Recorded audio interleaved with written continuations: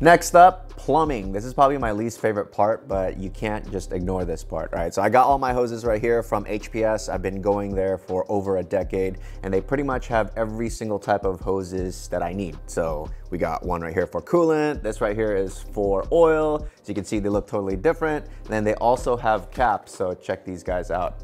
Dude, these are so pretty. These are delete caps, and you might be wondering why is it red? Well, they ran out of black, and this is the only one that, that fits this guy right here. So yeah, I'm using these caps. They come in different sizes, so check this out. If you guys need a certain size, you can go on the website. And then we're gonna be using a different type of clamp. I forgot what these clamps are called, but it's very popular on Euro cars like my Porsche. And what you do is you just crush these corners and they're, they're pretty much uh, permanent. You really can't remove them without destroying the clamps. I like these better than say worm clamps. I got these worm clamps as well. Um, these are all HPS stuff. So I'm gonna be going with this style because it just, I like it better, it's cleaner, and there's less room for error with the clamping. So let me show you how this goes on.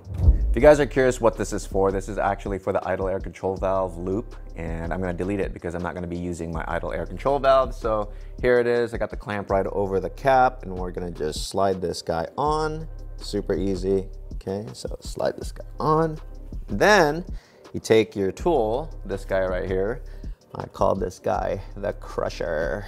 All right, so slide this guy over, and then we're just gonna crush this to spec. And there you go. It doesn't need to be like gorilla tight. And that's pretty much permanent. I mean, you can't remove this clamp without undoing the corner, which actually kind of destroys it. So I did one right here just to show you guys that you can actually remove it. So here's a close up. All right, so right here, you have to open it and then you can release the clamp right there. And then after that, you're pretty much done. You can't just like reclose this and reuse it because it's already crushed. So this is trashed.